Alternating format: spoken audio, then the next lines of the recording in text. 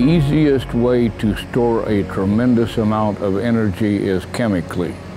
And being able to control that energy and make it do what you want to is really fun.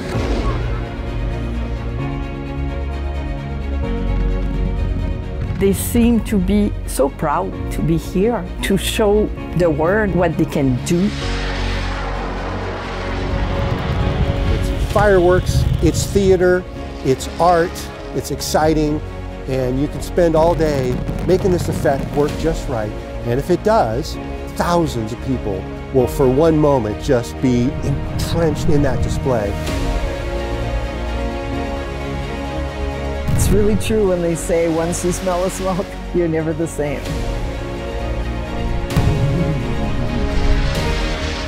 네 미래 진심 롱보 비체일 것 같아.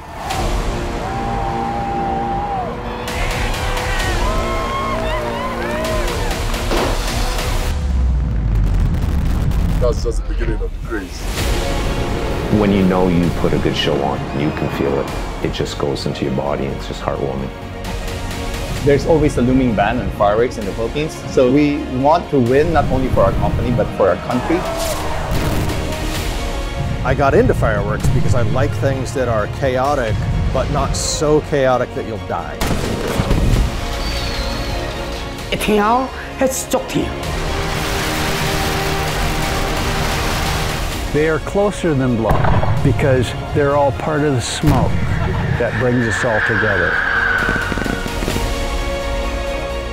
あの安堵感というか達成感というか It will explode, and I know that that is going to be a physical experience. A world record. World's a big place.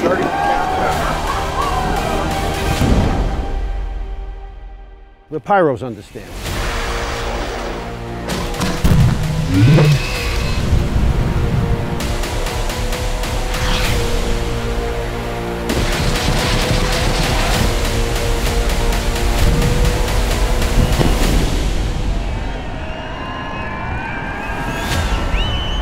That had everything you could ask for and more.